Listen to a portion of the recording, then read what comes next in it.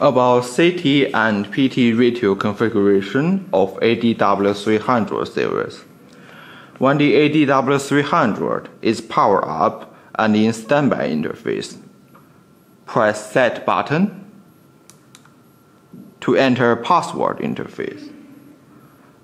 Press Enter button and use up and left button to set the default password 0000. Press up button twice to enter IN interface.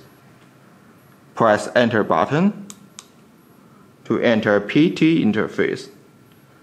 Press enter button again.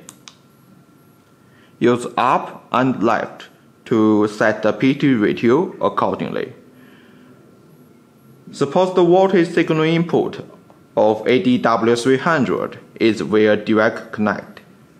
Then we will set the PT ratio on ADW300 to 1.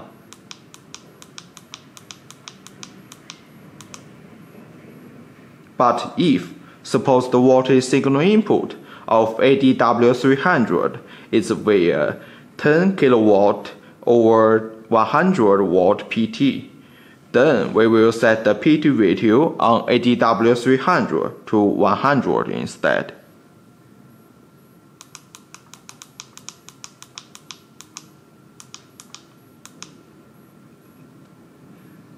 After correctly setting the PT ratio, press Enter button to confirm.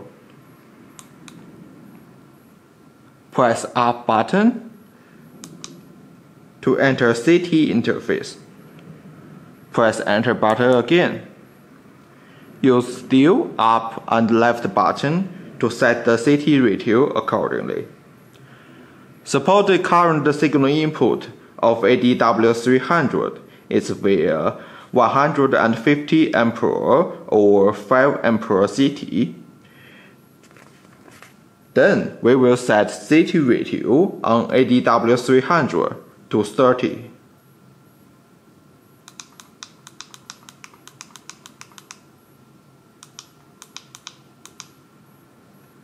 After correctly setting the CT ratio, press enter button to confirm.